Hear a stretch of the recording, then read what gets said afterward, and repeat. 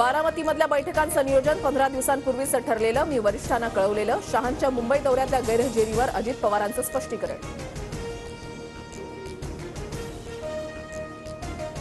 अर्थ खाता म्हणून झुकतं माप. किती टिकेल माहिती नाही. एकीकडे शहांच्या कार्यक्रमाला गैरहजर तर दुसरीकडे बारामतीमध्ये अजित पवारांचं भुया उंचावणारं विधान.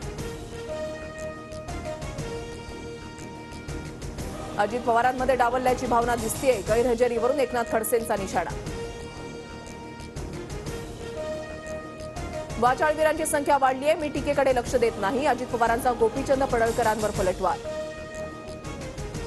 शहांच्या मुंबई दौऱ्यामध्ये लोकसभेच्या निवडणुकीवर मंथन झाल्याच्या चर्चा भाजपकडून दुजोरा नाही. मुंबई पुणे धुळे आणि जळगाव लोकसभेच्या उमेदवारीवरून मंथन सूत्रांची माहिती. शिवसेनेच्या सोळा आमदार पात्रतेवर उद्या सुनावणी. एकूण चोपन्न आमदारांना सुनावणीसाठी नोटीस. शिंदे ठाकरेंना अद्याप नोटीस नाही. एकशे पंचेचाळीसचा मॅजिक आकडा गाठेपर्यंत मुख्यमंत्री पदाचं स्वप्नच राहतं. रोहित पवारांच्या भावी मुख्यमंत्री बॅनरवर अजित पवारांची प्रतिक्रिया.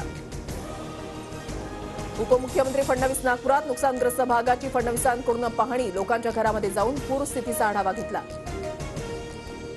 नागपुरात आज ऑरेंज अलर्ट तर किती पाऊस होईल सांगता येत नाही. संकटातून शिकून पुढे जाऊ फडणवीसांची प्रतिक्रिया. राज्यात पुढील तीन दिवस मुसळधार ते अतिमुसळधार पावसाचा इशारा हवामान विभागानं वर्तवला अंदाज.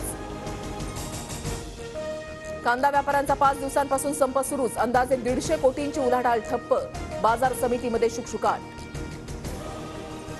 मनोज जरांगे पाटील महाराष्ट्राचा दौरा करणार सरकारला जागा करण्यासाठी दौरा. जरांगेंनी दिलेली वेळ चौदा ऑक्टोबरला संपणार. जामिनावर सुटलेल्या आरोपीची वाजत गाजत मिरवणूक. भर रस्त्यामध्ये दारूची बाटली फोडत डान्स. कोल्हापूरच्या पाचगाव भागातली घटना सोळा जणांच्या विरोधात गुन्हा दाखल. मुंबईत आज मेगा ब्लॉक नाही. गणेश भक्तांची गैरसोय टाळण्यासाठी रविवारचा मेगा ब्लॉक रद्द रेल्वे प्रशासनाचा निर्णय. बाप्पाच्या विसर्जनानंतर चाकरमानी परतीच्या प्रवासावर गणपती स्पेशल ट्रेनमुळे कोकण रेल्वे उशिरानं तर घाट महामार्गावर वाहतूक कोंडी. वन नेशन वन इलेक्शन संदर्भात उच्चस्तरीय समितीची पहिली बैठक रामनाथ कोविंद यांच्या अध्यक्षतेमध्ये बैठक संपन्न. शहा मेघवाल गुलाम नबी आझाद यांची हजेरी. देशाला आज मिळणार नऊ वंदे भारत ट्रेन्स. पंतप्रधान मोदी दाखवणार हिरवा झेंडा. अकरा राज्यातील धार्मिक आणि पर्यटन स्थळं जोडली जाणार. चीनमधील एशियाड स्पर्धेमध्ये भारताला पाचवं पदक. आतापर्यंत तीन रौप्य आणि दोन कांस्य पदकांची कमाई.